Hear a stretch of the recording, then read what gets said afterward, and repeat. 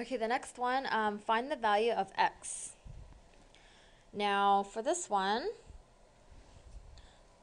um, here's a tangent, here's a tangent, and then here's um, a, a, segment from the, the center of the circle all the way out to that um, external point, that point of intersection. Then here is the radius. So I need to look for is x. I know that this tangent and this tangent are congruent because tangent meet at a point, tangent meet at the same point, then they are congruent. So I can just make this and this equal to each other. This segment and this radius, nothing, doesn't mean anything to me. Okay, so um, that's all you need. Now, there might be, um, you might get a problem similar to this where um, they're asking for this segment here. Or they give you this segment and then they ask for the tangent segment. So in that case, you can make this radius meet at that point of tangency so that it'll be perpendicular, right?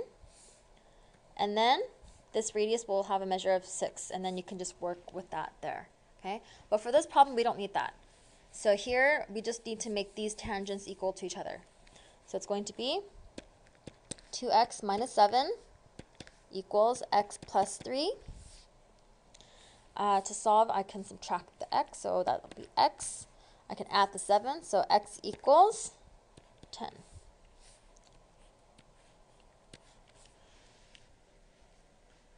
And then for this one, the radius is 12. They're asking for this whole um, side of the square. We know it's a square because, um, well, all sides are perpendicular, and it's um, each side is tangent to the circle, so it has to be a square. Now,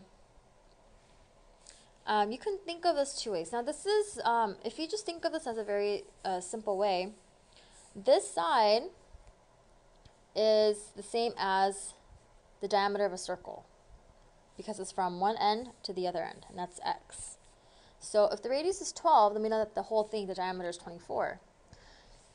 You can also look at this as tangents, and um, I'm, I'm explaining this both ways, even though we know that um, that could be the easiest way to solve, because you might have different versions of this kind of problem, where you have a square circumscribed about a circle. And just keep in mind that these are all tangent, okay? So then that's tangent here, and so each of these are going to be congruent to each other, okay? So then remember tangent, meet at an external point, tangent segment, congruent, same thing here, tangent, tangent, congruent, congruent, congruent, and congruent, okay? So um, whatever you need to, you know, to be able to find whatever unknown, what what it, whatever it is that problem's asking for. For our problem here, um, I'm just, I can just make x become 12. So, I'm sorry, x become 24 because if the rate, this is 12, then this is 12, the whole thing is 24. If that's x, and this also is going to be x, right? So, x here is 24.